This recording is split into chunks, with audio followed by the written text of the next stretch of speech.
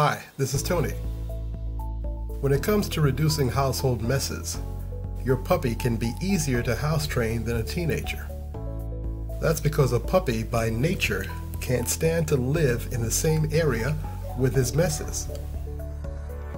You can use that instinct to house train your puppy with minimal distress for both of you.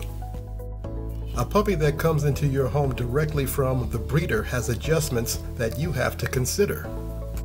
Not only is the puppy in a strange environment, but he's been taken from his mother and siblings. Where there were lots of little barks and playful activity among other puppies, he is now an only dog in a home where he must wait for your time and attention. If your home is filled with children, then the puppy can actually be overwhelmed with attention and not enough time to rest. Be mindful that your little puppy has many adjustments to make in becoming part of your home and family. If you're crate training your puppy, everyone in the home needs to agree that this job is under the control of one person, or at least kept on a schedule. Otherwise, the whimpering puppy in the crate might be released by a well meaning child or another adult, and suddenly there's a mess on the floor. Worse still is to wake up in the pre dawn hours of the morning to take the puppy out for a break, only to have to go looking for the puppy.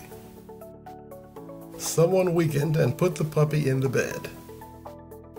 Unfortunately, the puppy needs to potty, and the next pillow is as good as any place. Lesson learned, at least the lesson for the owners you may have to train the family at the same time you are training the puppy. Explain how the dog's instinct is to avoid doing potty business where he sleeps and eats. That's why crate training is a kind of aversion therapy, so that the puppy will want to hold it until he's taken outside for official potty time. Then make sure that you don't let your puppy spend time in his own mess inside the crate. If you constantly interrupt the house training routine, your puppy learns that you're not dependable and he accepts living in mess. Once that happens, you lose weeks worth of effort. So take advantage of the puppy's instinct for separating his life functions. Who knows, maybe this will rub off on your teenager.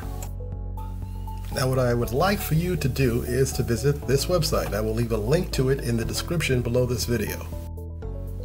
There you can get a free mini course with tips and nutritional information specific to your breed of dog. When you get there, enter your name, your dog's name and breed, and your email address. They will begin sending that mini course straight to your inbox. Be sure to like this video and subscribe to our channel. And visit us at theirgreatdogsarentthey.com. This has been Tony. Thanks for listening.